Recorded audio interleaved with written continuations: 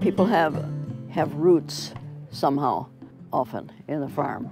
Uh, whether it's whether they grew up there and left or whether their grandparents live there or whatever. And they're, and they're proud of, of those roots.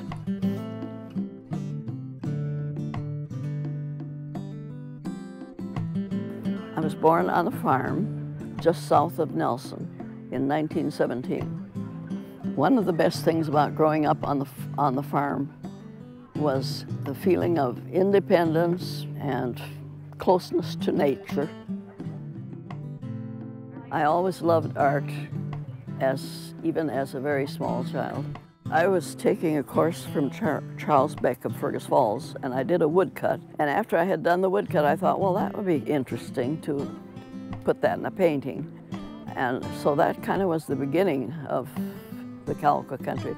Two things that people say about them, I hear it over and over and over again. One thing they say is they love the colors that I use.